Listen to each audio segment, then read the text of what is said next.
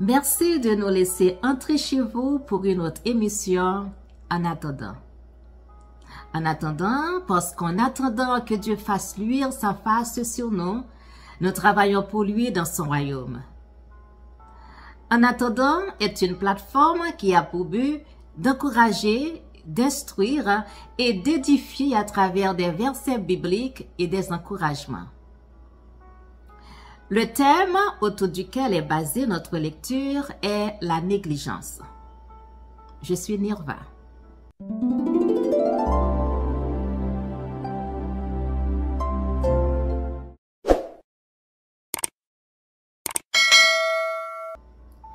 Parfois, nous les humains ne définissons pas correctement notre priorité. Nous sommes en un mot insouciants de nos relations et de notre foi. La Bible nous rappelle que nous devons toujours être obéissants au Seigneur en restant près de lui, sans jamais oublier ni prendre pour acquis sa fidélité envers nous. Lorsque nous ferons cela, nous ferons bien notre travail et remplirons notre appel devant lui. Est-ce que ces questions vous sont déjà venues à l'idée? Dans quel domaine suis-je vulnérable à la négligence? Que peut-il arriver si je néglige ma relation avec Dieu? Comment puis-je éviter la négligence dans ma relation avec Dieu? Et quels sont les signes de négligence? Voyons ce que dit la Bible.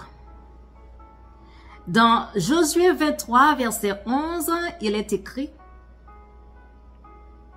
Ayez donc bien soin d'aimer le Seigneur votre Dieu. Psaume 111, verset 4. Il a fait se souvenir de ses merveilles. Le Seigneur est miséricordieux et compatissant. Ésaïe 46, verset 9. Souvenez-vous des choses d'autrefois, car je suis Dieu. Il n'y en a pas d'autre. Je suis Dieu. Il n'y a personne comme moi. Jacques 4, verset 17. C'est pourquoi, pour celui qui sait faire le bien et ne le fait pas, c'est un péché pour lui. Ésaïe 32, verset 9. Levez-vous, femme tranquille, écoutez ma voix, fille insouciante, prêtez l'oreille à ma parole. Lévitique 5, verset 4.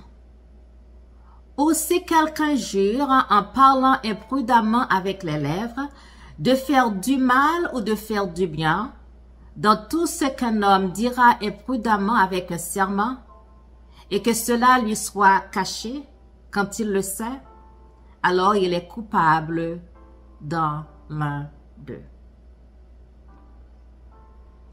Proverbe 20, verset 25. C'est un piège pour un homme de dire imprudemment, c'est sanctifié, et après les vœux de s'enquérir. Ecclésias 5, verset 2 et 6. Ne sois pas téméraire avec ta bouche, et que ton cœur ne se hâte pas de dire quoi que ce soit devant Dieu.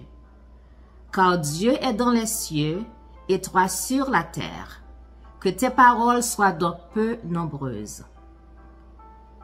Ne permets pas à ta bouche de faire pécher ta chair, et ne dis pas devant l'ange que ce fut une inadvertance.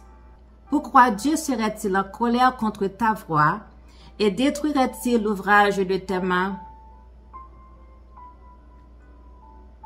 Matthieu 12, verset 36. Mais je vous dis que toute parole vaine que les hommes diront, ils en rendront compte au jour du jugement. Luc 7, verset 46. tu n'as pas oué ma tête d'huile, mais elle a oué mes pieds de myrrhe. Hébreu 10, verset 25. N'abandonnons pas notre assemblée, comme c'est la coutume de quelques-uns, mais exhortons-nous réciproquement, et cela d'autant plus que vous voyez s'approcher le jour.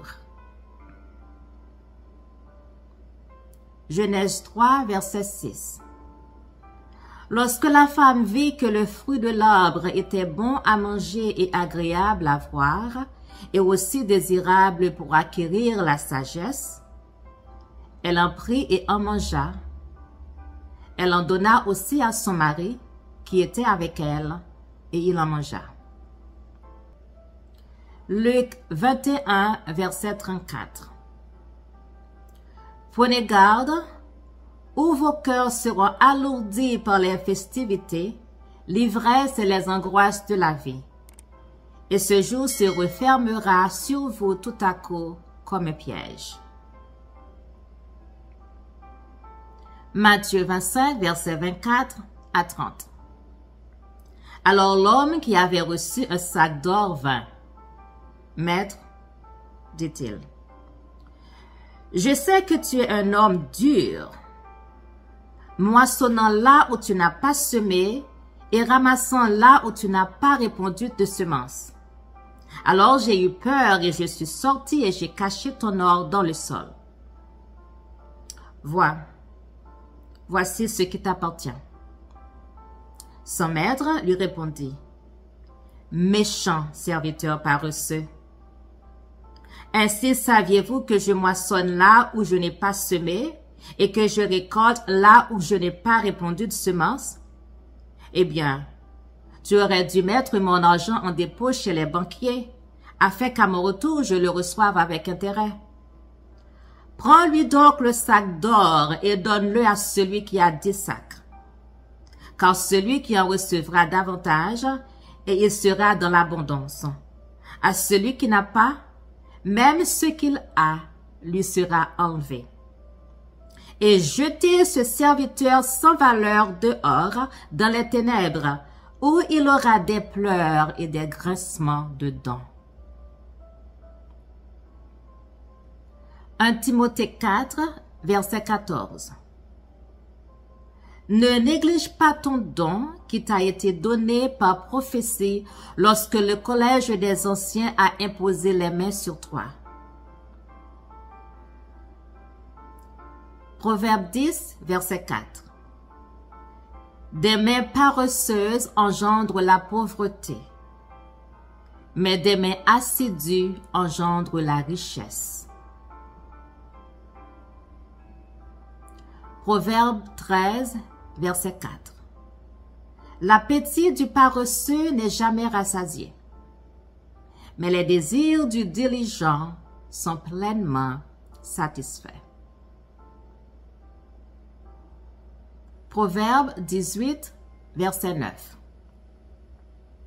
Celui qui se relâche dans son travail est le frère de celui qui détruit.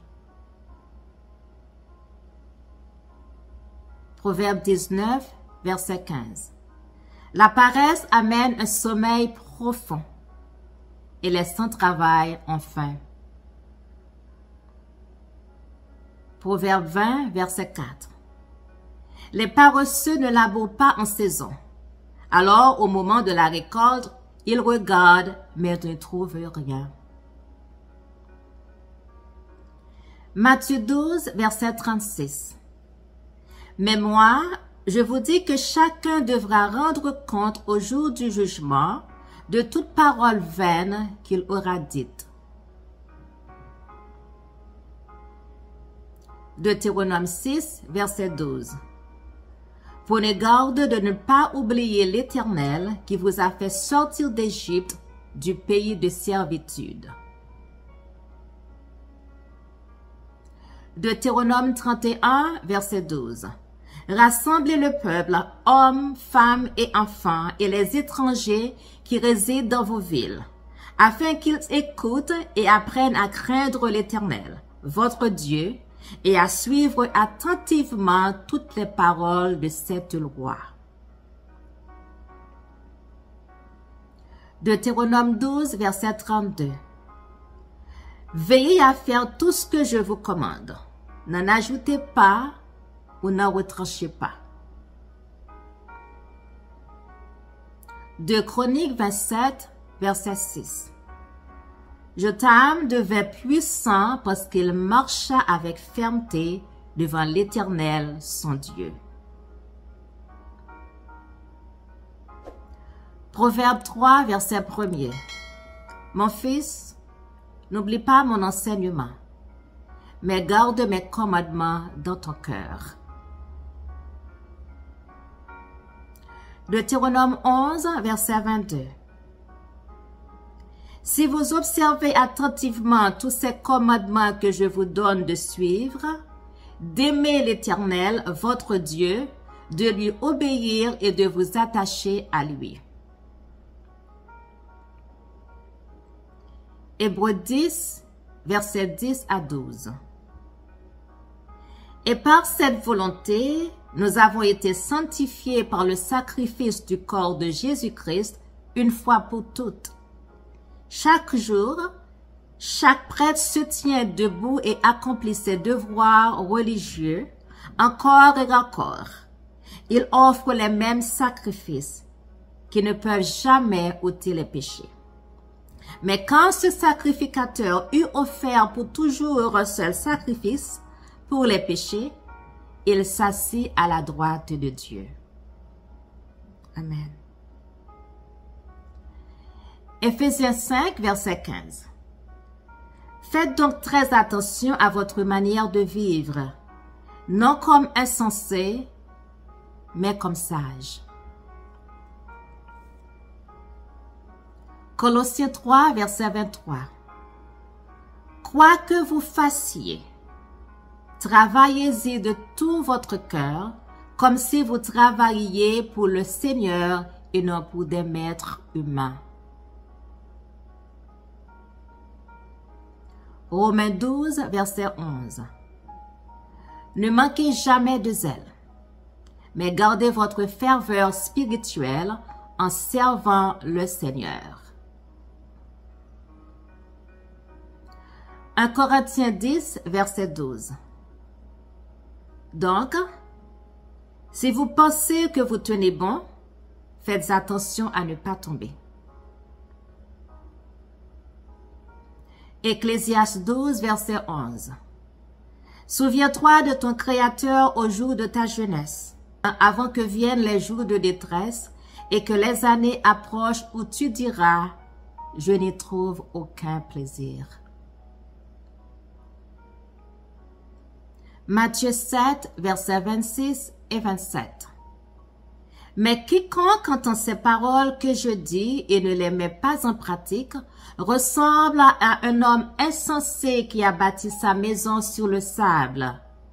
La pluie est tombée, les torrents sont montés, les vents ont soufflé et se sont abattus sur cette maison. Et elle était tombée avec un grand fracas. Lévitique 18, verset 4. Vous devez obéir à mes lois et veiller à suivre mes décrets. Je suis l'Éternel, votre Dieu.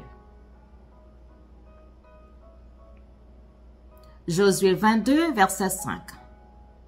Mais sois très attentif à garder le commandement et la loi que Moïse, serviteur de l'Éternel, t'a donné Aimer l'Éternel, ton Dieu, lui obéir, garder ses commandements, t'attacher à lui et le servir de tout ton cœur et de toute ton âme.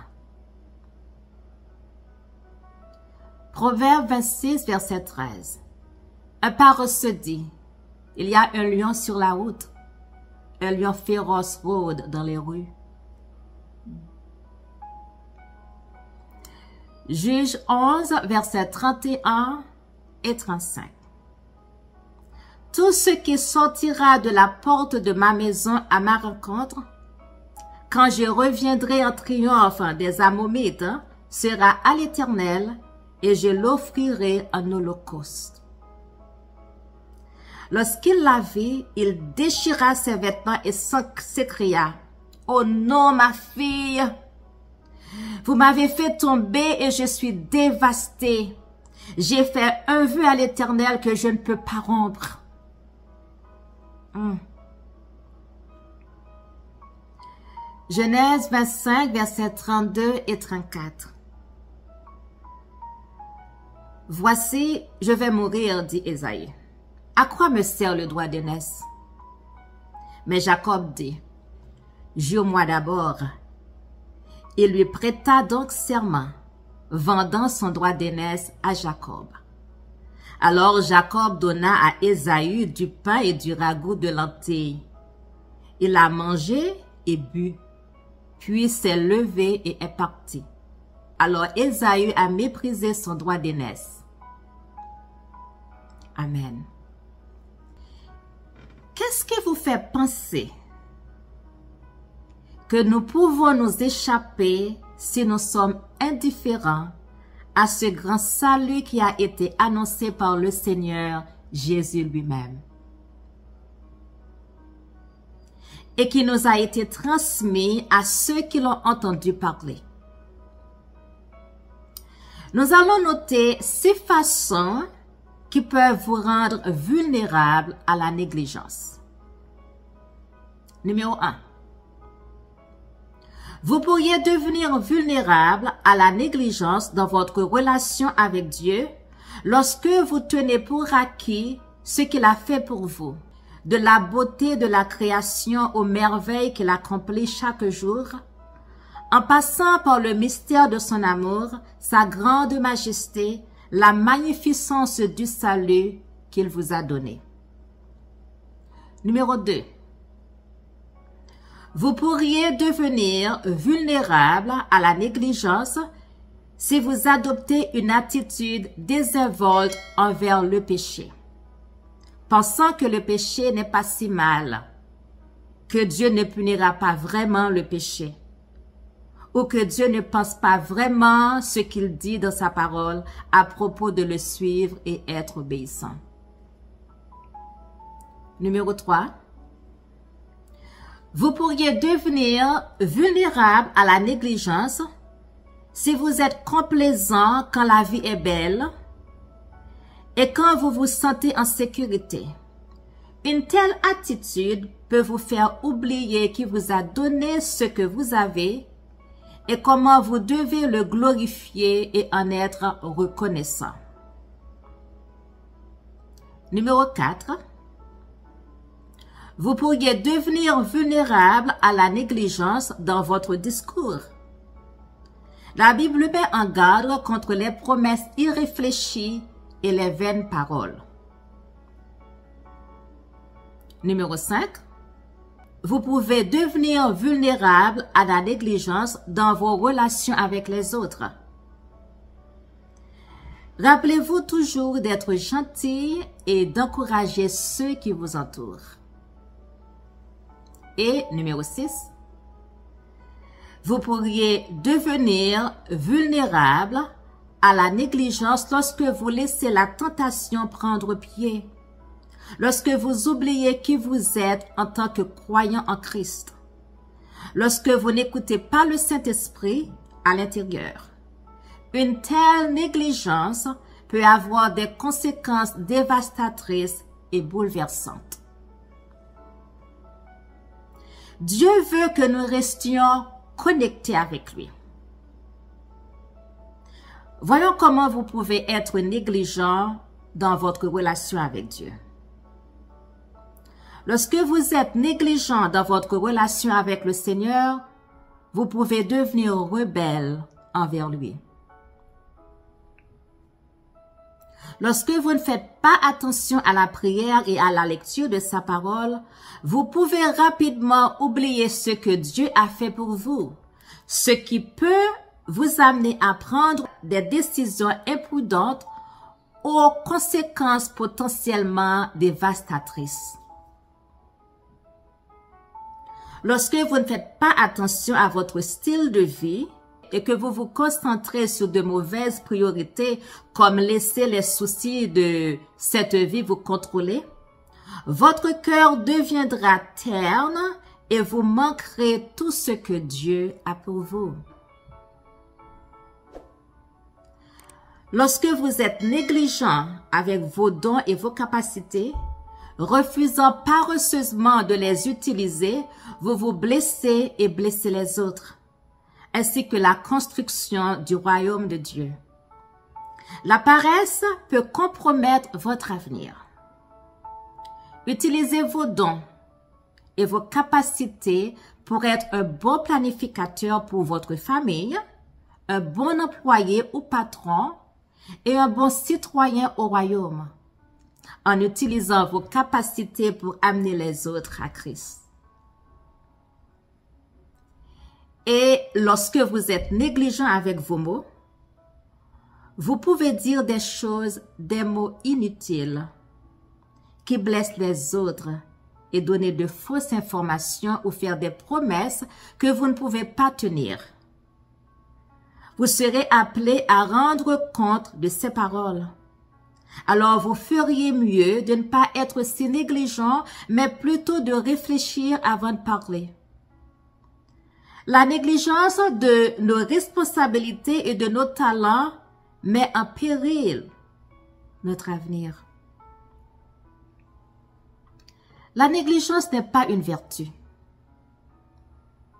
Vous devez faire de votre mieux pour l'éviter. On peut voir quatre simples manières d'éviter la négligence. Premièrement, vous pouvez éviter la négligence en vous rappelant en priorité ce que le Seigneur a fait pour vous. Vous pouvez le faire en partageant avec les autres ce qu'il a fait dans votre vie et dans la vie des autres. Peut-être que tenir un journal et les écrire vous rappellera constamment la grande œuvre de Dieu dans votre vie. Deuxièmement, en étudiant assidûment la parole de Dieu afin d'être obéissant. Lorsque vous connaissez la parole de Dieu et que vous pouvez la stocker dans votre cœur, vous serez en mesure d'obéir. De cette façon, vous lui montrez votre amour. Troisièmement, en faisant attention à votre façon de vivre et en cherchant Dieu afin de prendre de sages décisions.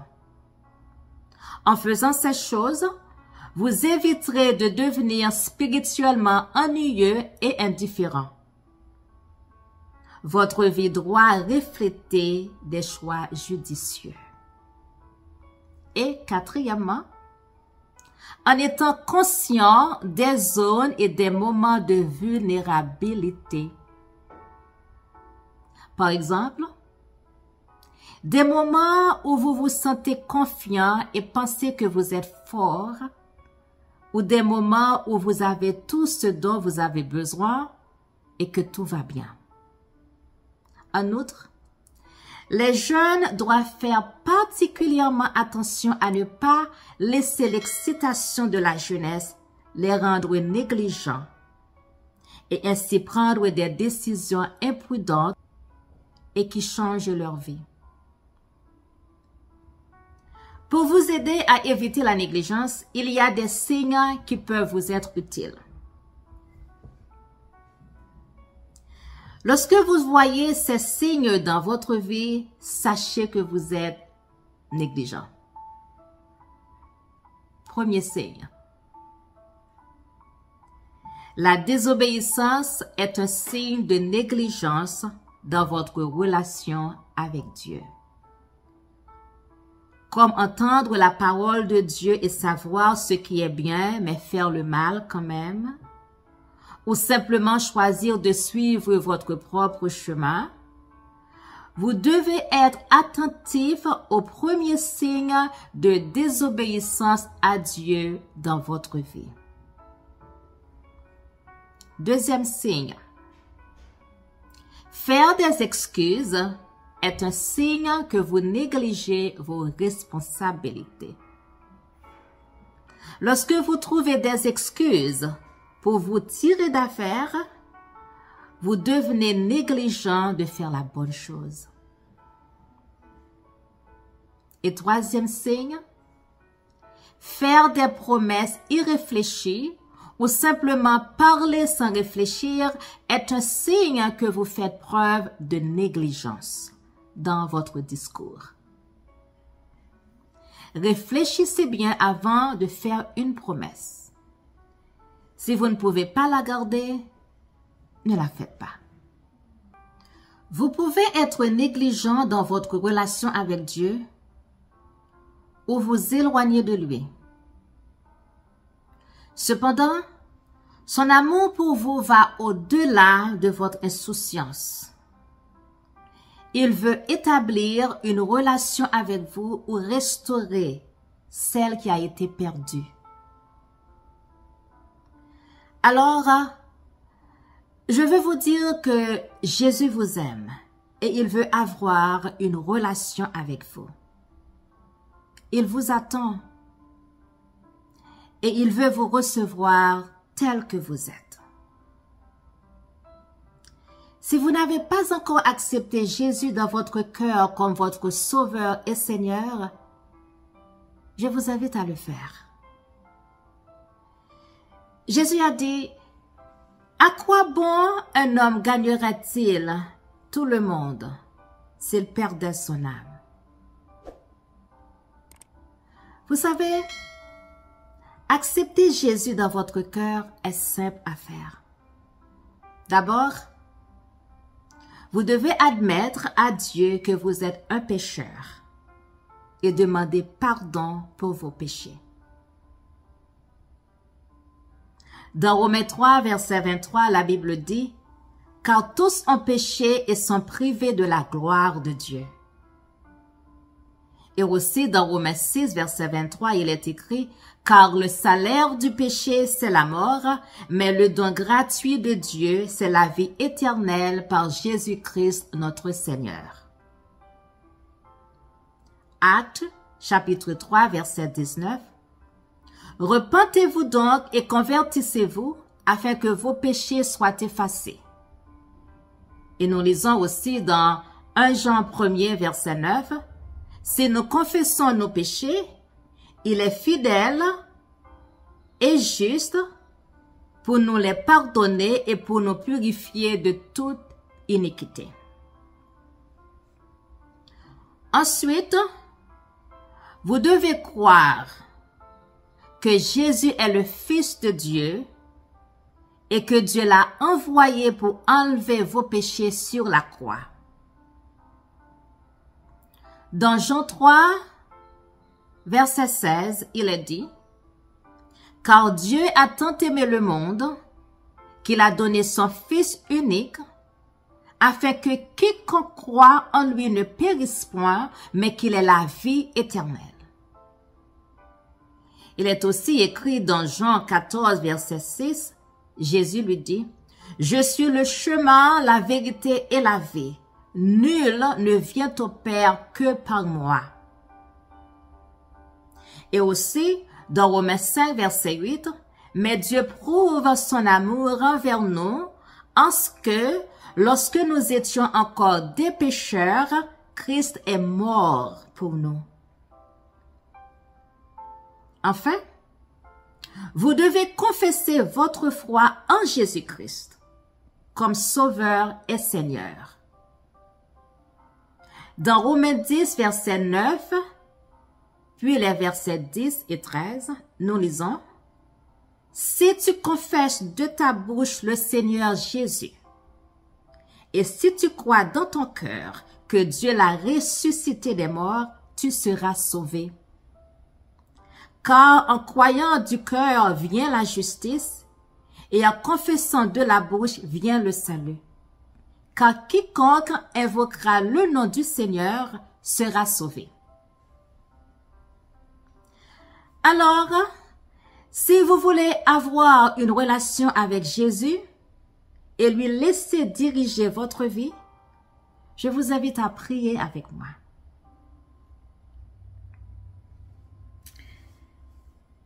Seigneur, je sais que je suis un pécheur. Je crois que tu as envoyé ton Fils mourir sur la croix pour mes péchés, qu'il est ressuscité des morts et vit maintenant.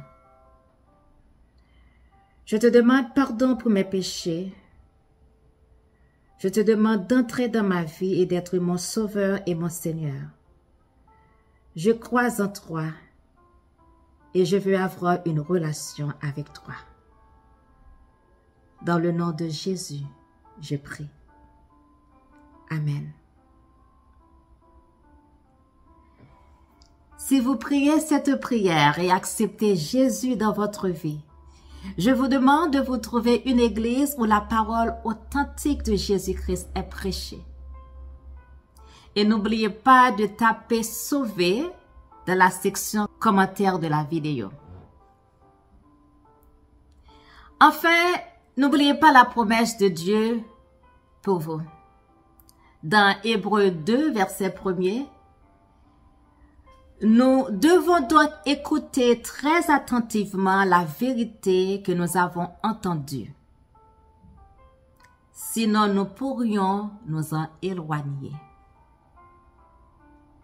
Que Dieu vous bénisse et à la prochaine.